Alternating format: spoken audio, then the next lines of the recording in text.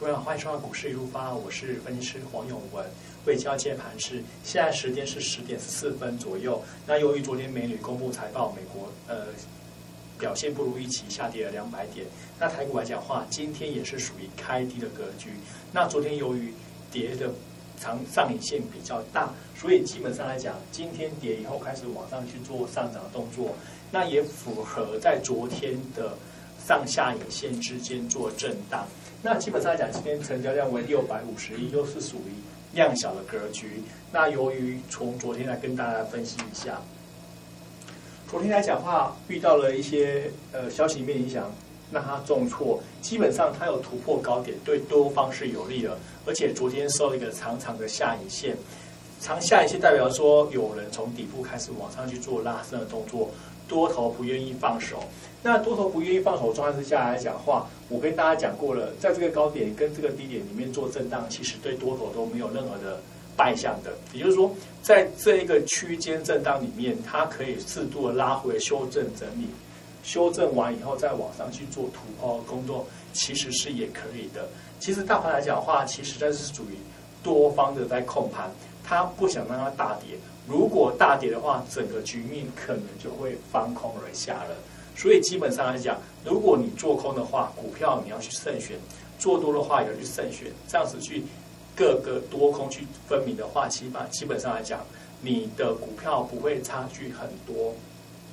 那由于昨天人民币走贬的关系，贬值到六年新低，台币又也接接续的跟贬，那可能热钱会回流到美国去，又是一个。呃，讯息面整个大趋势的方向性，那整个大趋势方向性的话，注意看台股有没有表现。如果未来台股连续的重挫的话，那基本上来讲，外资可能会有撤离的动作。从台积电的股价你也看得出来，它可能会有大幅撤离的动作。所以基本上来讲，只要符合这个多头格局的话，基本上来讲，它还是属于比较混沌的行情，在里面做箱型的震荡。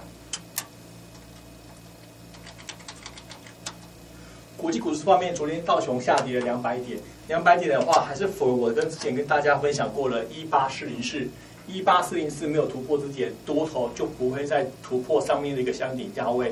那是跌破的话就比较危险性的，在这里做一个区间震荡，其实来讲没有很大的方向性，那未来可能在于美股它的选举快结束的时候，可能就会表态一个方向性，它不是往上。这个箱顶区去等着去突破，往下的时候，自然而然空方的趋势就会成型的。基本上来讲，这次高档震荡的话，很多的，我想美股企业的话，基本上来讲，股价都很多创高了。其实有时候可能也是要获利了结的时候，不要预测的非常非常好。基本上来讲，它只要有突破往上涨的时候，我们就认为做多持续。如果它持续的破底的话，我们就知道是它空方来临的。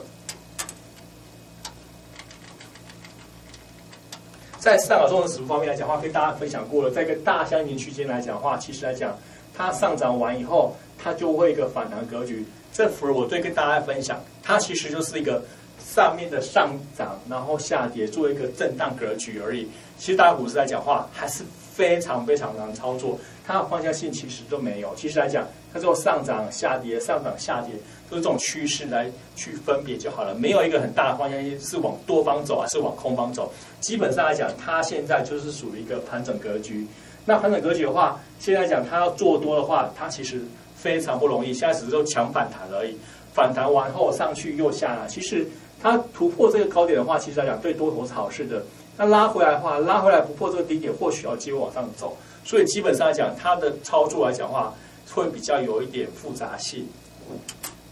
那回来台股说起，从呃大台积电开始说，台积电昨天创了最高价一百九十一块钱。昨天盘中跟大家讲，它一百九十一块盘中的最高价，基本上来讲，台积电还没有任何的败相。如果想要做空的朋友，千万千万这时候不要看它涨高的去放空股票，千万不要涨高去放空。股票应该看到它破底的时候才去放空。所谓破底，意思就是说它跌破了关键性的价位，往下底的时候才要去放空。不然的话，你涨高了去放空，你就是看它不满意、不高兴、不开心，它直接往上去做涨升。所以基本上来讲，它还没有任何的很大的败相之前，如果你没有买台积电的话，千万不要去放空这种股票。这种股票的话是非常危险的，它很容易外资很容易往上去做一个往上带动的呃工作。所以基本上来讲，其实来讲做多股票这种股票非常非常的明显，没有任何的很大的败相。昨天跟大家报告股票上热模组两只叫双红三三二四，这种涨升的过程之中，从低档开始涨涨涨涨，涨到一百二十块左右以后，做第二个头，这边来讲话，其实就是属于会怀疑已经空头成型的。通常在高档的股票做两个头，基本上来讲就是对它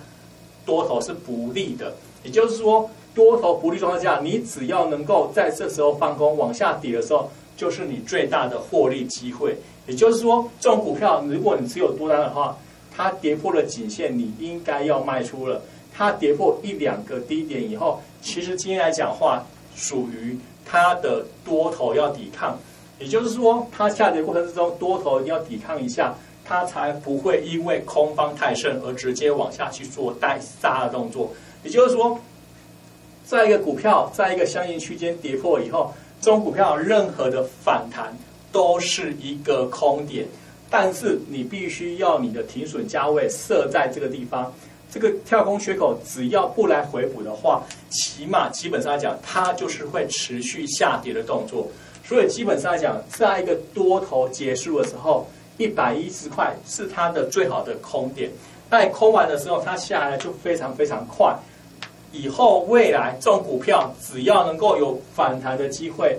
反弹反弹不够不过高点一百亿以上的话，都是投资朋友的空点。也就是说，在上涨的过程之中，你也不要看得太非常非常好；在下跌过程中，也不要看得非常非常的坏。基本上来讲，它只要涨幅结束的时候，它就会有比较快速的下跌动作。不过这是属于第一波，通常第一波跌完的时候，它就会做震荡走势，而且非常非常久，再来做一个下杀的动作。上个模组操纵也是一样的，也是六二三也是属于一个头完以后开始做第二个头、第三个头往下去做杀动作，所以基本上来讲，这边应该有小小的支撑，只要杀这里的话。它一定会有个反弹动作，投资朋友不要以为你放空一完以后就不要理它，除非你做的是长趋势的空头走势。假设你是短线的话，它只要它下跌完以后有反弹的时候，不反刚你的空单先行的回补，等到弹到一个高点，它又不再过高的时候，可以再继续往上空，这个就是一个转折部分。跟大家讲一下，它弹完以后，它下跌完以后会有反弹，反弹以后不过高再往下空。空完以后，这边有一个红棒，其实过它的高点就是将你的空单给回补。这样子的话，你一个一个区段一个区段去操作的话，起码来讲，你的获利也非常非常的丰富。也不要每天看着它直接下跌会无精打采的，没有办法去操作。其实股票来讲，多跟空都可以，不需要一直讲要做多，不需要一直讲要做空。看到对的股票去做空，看到对的股票做多，其实来讲都可以的。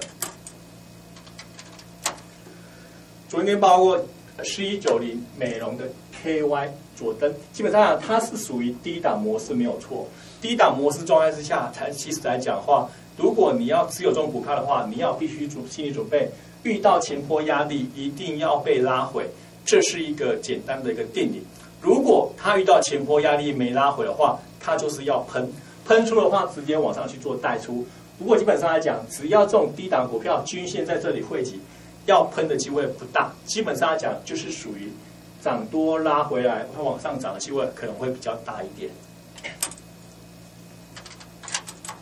所以跟大家报过了二二八的建林车用电子方面的来讲话，昨天盘中跟大家分享过，它属于空头股票，今天还是杀，这样子来讲话，一下子就大概十趴以上。听我节目非常非常跟大家分享过，非常清楚，空头股票非常非常清楚，只要跌破一个区间往下去缩杀的时候。它就是一个空头股票，基本上来讲，它跌到这边来的话，应该有一个短线的一个低档，它要反弹的时候，反弹的时候，只要反弹完以后不过这里的高点，基本上来讲，它还是会做下杀的动作。所以基本上来讲，以后这种多头股票走完的时候，空的时候，就麻烦投资朋友有机会就去做放空的动作，因为做多的话非常非常非常赚，做空的话会非常非常的快。而且你的获利也非常比较快一点。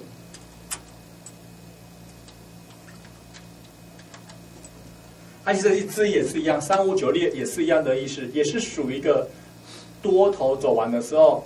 跌破一个颈线，基本上来讲，它已经稍微作为走一个空头走势了。走一个空头走势的话，你只要压着这个跳空缺口，它只要不要来回补这个缺口的话，马上的它就有机会今天做一个止跌动作，明天反弹完以后不过这个高点，它还是有机会做下杀的动作。所以来讲话，当你进场的时候，你必须要知道说你的停损点要设在哪个地方，这样子的话，你做多做空其实多空皆宜。以上就是我的分析报告，谢谢大家收看。